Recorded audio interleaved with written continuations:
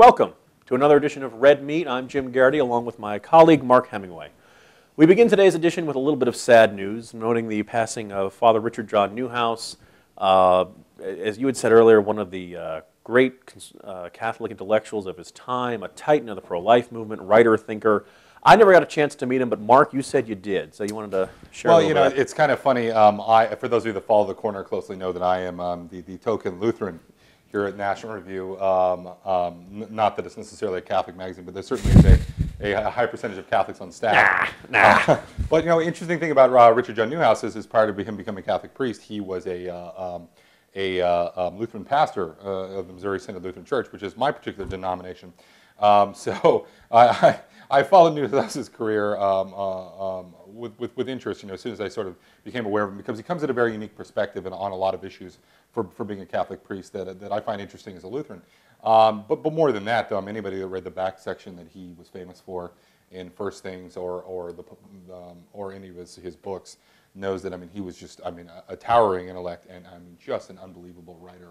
Uh, um, there are few people, uh, um, and, and, Bill Buckley was one of them, Richard John Neuhaus was another, that can write so much with such clarity and, and just literally like everything that comes out of their mind is, is, is, is just, you know, the picture of, of, of you know, crystal clear uh, thought. And uh, Richard John Neuhaus was one of them. Um, and, uh, you know, I, I, didn't know him well. I met him briefly um, once, actually last year, um, when I was up uh, for New York uh, for a conference for, for um, young journalists. And I was there with my wife. And at the time, we had a six-month daughter, and we had a, um, we needed to find someone in New York to watch our daughter. And as it happens, a friend of ours, Ryan Anderson at First Things, uh, um, uh, found a couple of young girls who worked at First Things uh, to watch our daughter. And uh, our daughter, actually, our six-month-old daughter, spent the day with Richard John Neuhaus and uh, um, said Vespers with her. And uh, um, it, it, was, it, was, it was very sweet. and um, Neuhaus had something of a, of a, reputation for being a, a curmudgeon, but he was wonderful with our daughter and perfectly wonderful for us, and, and he was wonderful when we met him, and, and mm. he will be dearly missed. Yeah. Towering intellect, fascinating writer, very underrated babysitter. Ah. Uh, he'll be missed. Now, from uh, the death of a friend to the potential death of economic liberty in the Obama administration. Uh, if you've been reading The Corner, you know that uh, the appointment of Cass Sunstein to Obama's Office of Information and Regulatory Affairs uh, spurring very disparate reactions. We've got some folks saying that, hey, he's the best uh, you know, conservatives could hope for of all the people who could be advising Obama. And then others are stockpiling uh, canned food and firearms in a bunker in Idaho and expecting that this is just, you know, this is about as bad as it could have been. Uh, Mark, you're more familiar with him than I. What did you think? Well, it, it is interesting. Uh, I, I, basically, I agree with all the criticisms and I agree with all of the uh, things that have been said in defense of Cass Sunstein from a conservative perspective. Um, earlier this year, of all people, uh, George Will wrote a very fawning column about uh, um, uh, Cass Sunstein uh, and his work. And I think that there is a case to be made from a conservative perspective that Cass Sunstein is a good thing.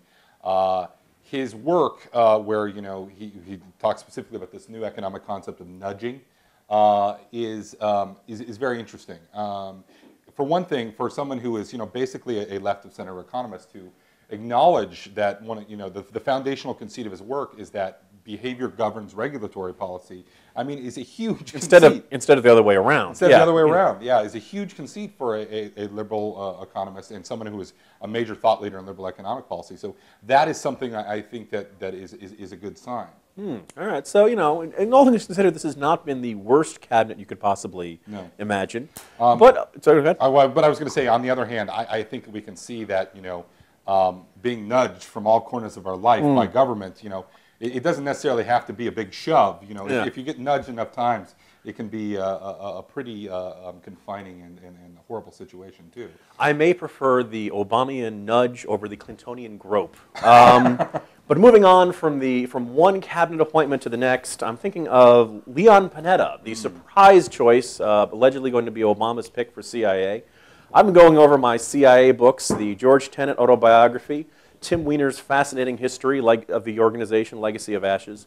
Um, my friend Hugh Hewitt is actually something of a supporter, thinks this isn't the worst possible choice. I'm going to take a quick moment to let everyone know that I'll be guest hosting the Hugh Hewitt Show next Wednesday evening, so check your local listings. But Hugh and I got into a bit of a disagreement over this. and He's kind of a, a you know, something of an optimist on this.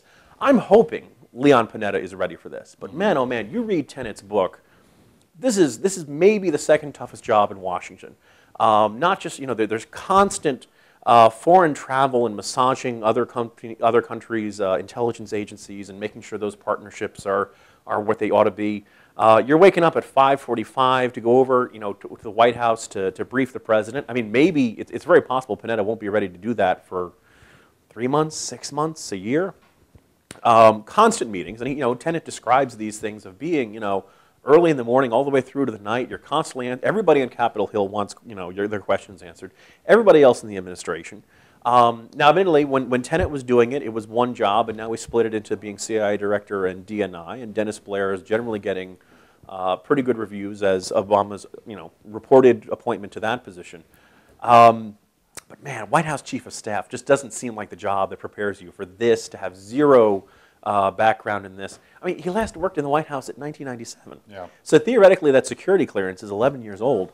Lots happened in 11 years. So I, you know, I, I am I'm very nervous about this. Mark, reassure me. well, I, you know, I, I, I think that, that there is there's a case to be made here, and Obama's banking on this that, that there's a real problem from from within the CIA, and as such, that you know the only possibility you have mm-hmm. of fixing things is to bring in someone who's a competent manager from uh, from outside that, that hopefully has a skill set that overlaps enough with the C with, with what's required of the CIA to, but at the same time doesn't you know isn't bound by any of the allegiances to the bureaucracy uh, from uh, like someone who was promoted from within might be. Um, so I mean I understand the gamble. On the other hand, I understand what uh, you're saying as well, and I, and I, do think it's a big challenge. In fact, we were discussing this earlier. In fact, Jim uh, just informed me of a very interesting fact. Uh, in, uh, in, in, the CIA's nearly 50-year history, there have been, what, 20 chairmen? 20 chairmen, seven of which lasted one year, and another four were about two years. So it, it's a high burnout position. We saw Porter Goss last barely a yeah. year. Um, I mean, all kinds of, each one of them has own, you know, unique issues of why they lasted that short time. But, um, you know, Leon Panetta is, look, we, the country laughed at the idea of a 72-year-old becoming president of the United States. All right, fine, we've settled that issue. As I said, maybe second toughest job in Washington. You have Leon Panetta, 70 years old. Uh, that, this would be a tough job for a man half his age. Mm -hmm. I, I, I, hope he rises to the occasion. I hope he's fantastic if he's confirmed. Uh, but you're just left with a little bit of nervousness. And the other thing I'm just going to, my, my lovely ominous thought to leave you all with before we close off this, uh, this week's edition. Um, if there's a terror attack, on American soil under the, the watch of Leon Panetta, after having none under Tenet post 9 11, Porter Goss, even for that one year, you know, things were fine. Um, and, and, Michael Hayden is generally getting pretty good reviews. Yeah. I mean, if you're going to keep uh, Gates at defense, it really seems kind of strange to feel the need to, to shake things up there. Um, if there is an attack, and the perception is that some of these policy changes may have, you know, led to the circumstances that made that attack possible, going to make the 9-11 Commission look like a, a peaceful tea party that everyone got along with. There's going to be some serious recriminations. Right. Never, never mind uh, um, the election in 2012 has suddenly become uh, much more interesting. It'd be a great time to republish Voting to Kill, now available in fine remainder bins everywhere. anyway, uh, so with these ominous, scary, terrifying thoughts and uh, thought of being nudged into oblivion and, you know, uh, this has been the grimmest edition of Red Meat, but hopefully next week things will be cheery. It'll be the inauguration edition. And uh, by the way, Mark and I are still looking for people to rent out our houses.